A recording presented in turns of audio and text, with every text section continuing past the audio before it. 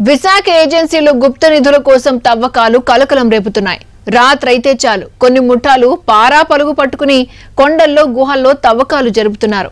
ఎవరైనా అటుగా వెళ్తే చంపేందుకు కూడా వెనకాడడం లేదు. పదకొండు మండలాల పరిధిలో విస్తరించి ఉన్న విశాఖ ఏజెన్సీలో గుప్త నిధుల వేట అలజడి రేపుతోంది.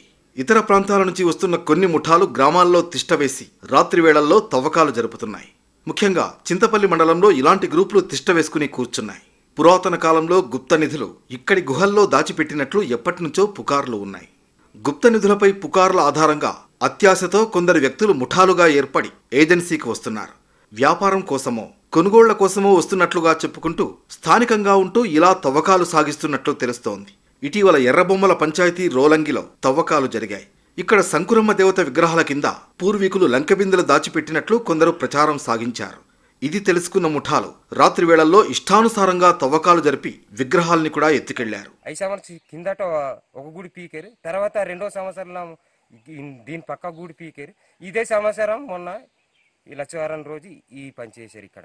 మరి ఇక్కడ ఏమున్నది అన్నది ఏం మోసారు అన్నది మాకు ఎవరికి తెలియదు. ఎవరి మీద అనుమానం మాకు దొరకట్లేదు సార్. శంకుస్థాపనని బయటికి జల్లేశారు సార్.